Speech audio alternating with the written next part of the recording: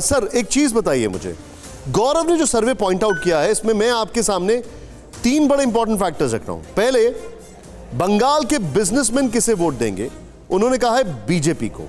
41 percent thirty percent TMC को कह रहे हैं। और जो इंटरेस्टिंग बात यह है, कह नहीं सकते 12 परसेंट है। बंगाल में किसान किसे वोट देंगे?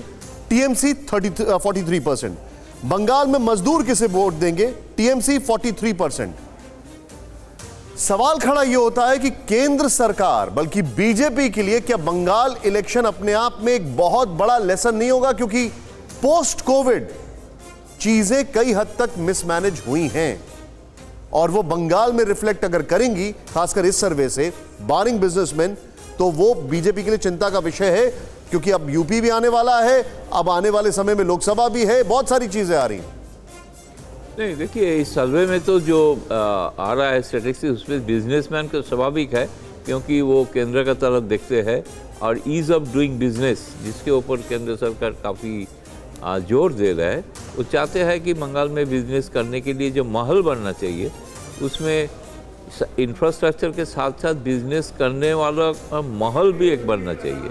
तो महल के लिए शायद वो पसंद करेंगे बीजेपी को हो सकता है, बंगाल के साथ, लेकिन बहुत सारे बिजनेसमैन टीएमसी सरकार के साथ भी जुड़े हुए हैं। वहाँ का जो बिजली कंपनी है, वो कलकत्ता में बिज़नेस करते हैं, बहुत पुराना कंपनी तो ये उद्योग, जो बड़े उद्योग जो होना है बंगाल में, इसके लिए शायद वो बिजनेसमैन सोचते हैं कि केंद्र सरकार के साथ रहेंगे तो यहाँ पे उद्योग खुलने में आसानी होगा। दूसरी बात यह है कि जो आपने जो कहा कि जो बाकी किसान और इंटरेस्टिंग है, जो सोशल सोसाइटी का जो दूसरा महत्वपूर्ण और संख्याधिक घरिष्ठ जो मतदाता है, वो किसान और मजदूर है। अगर ये ज़्यादा टीएमसी के पास जाते हैं तो बिजनेसमैन का तो संख्या इसके मुकाबले में बहुत ही कम है। तो इसलिए ओवरऑल रिज़ल्ट में ये पक्ष टीएमसी के पाले में जाने का दिखाई दे रहा है इसलिए कि किसान कुछ, और इस, लेकिन अब फिर एक विरोधाभास दादा इस, गृहिणी जो घर का जो महिला है वो बीजेपी को पसंद कर रहे है। परवाह देश की।